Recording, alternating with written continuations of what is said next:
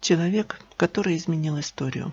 Сталин в прошлом и будущем. Андрей Фурсов за 5 марта 2023 года. Но прежде чем продолжить, хочу поблагодарить неизвестных, поддержавших мою работу через донат и через личный кабинет провайдера. Огромное человеческое спасибо. Поехали. 5 марта 1953 года умер Иосиф Сталин, глава огромной сверхдержавы, оснащенной ядерным щитом, который защищает нашу страну до сих пор.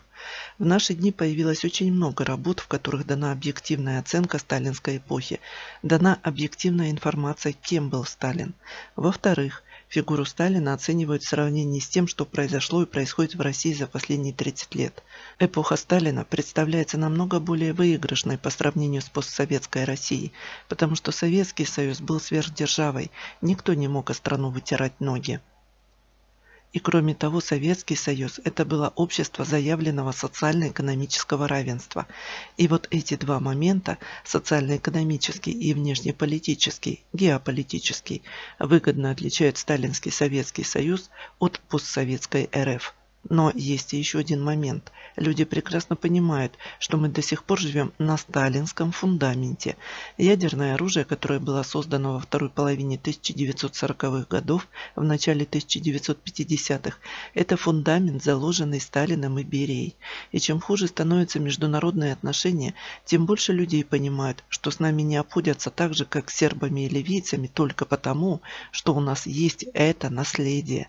То, что Сталин мешал верхушке, это очевидно.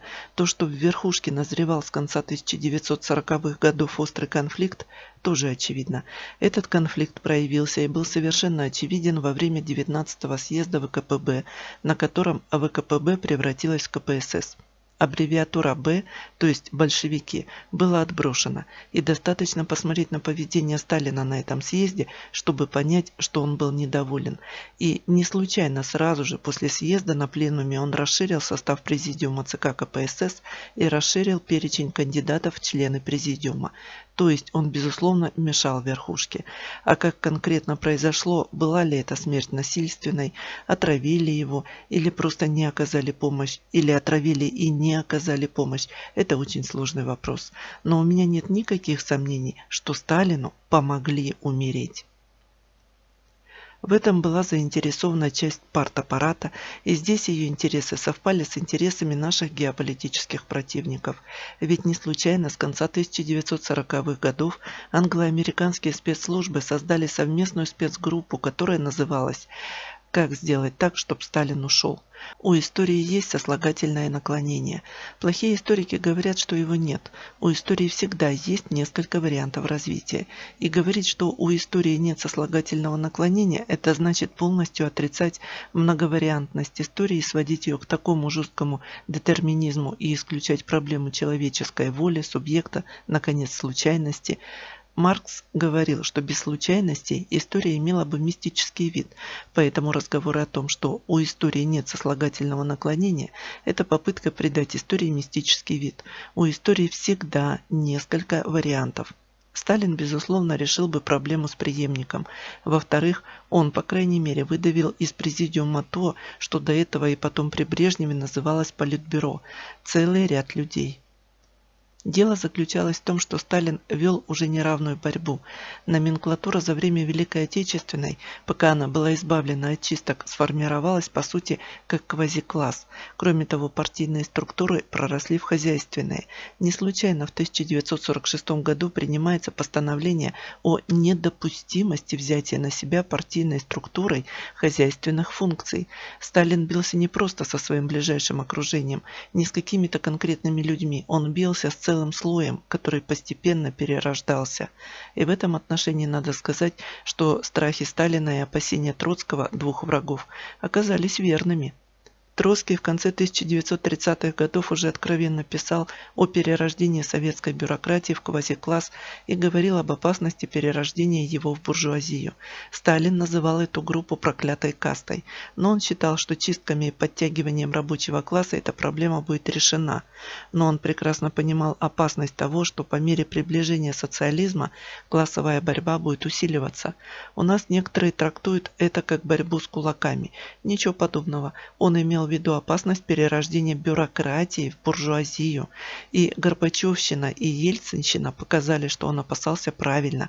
Это и есть обострение классовой борьбы в ходе построения социализма.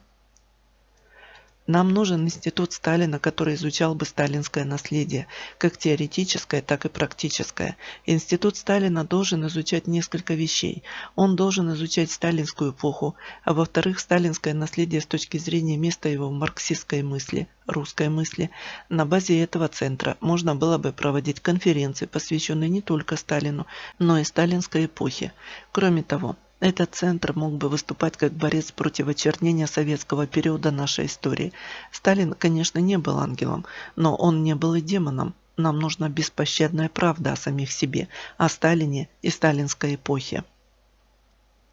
Я думаю, что если России суждено сохраниться и пройти через бутылочное горлышко кризиса ближайшего десятилетия, то памятники Сталину будут стоять не только в Москве, они будут стоять во многих городах. Инициатива будет исходить не только сверху, но и снизу.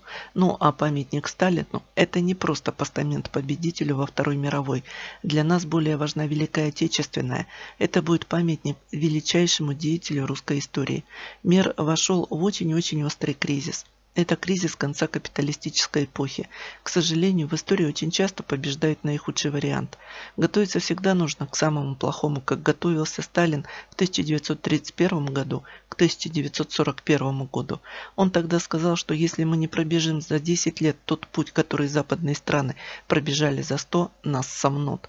Через 10 лет действительно началась Великая Отечественная, и мы за 1930-е годы действительно пробежали очень быстро свой путь. В 1937 году Советский Союз добился военно-промышленной автаркии от капиталистического мира. Сейчас ситуация аналогичная. Только она, пожалуй, острее, потому что нынешняя Россия слабее Советского Союза 1930-х годов. Причем слабее не только в материально-техническом плане, но и в идейно-политическом, в идеологическом.